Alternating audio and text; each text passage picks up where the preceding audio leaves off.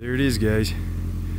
Girls are going to be really happy. They're getting a white fir this year. I usually go for a blue spruce, but white fir are kind of worthless. Well, blue spruce are too, but white fir, fur are abundant and worthless, so they make a great Christmas tree. Merry Christmas.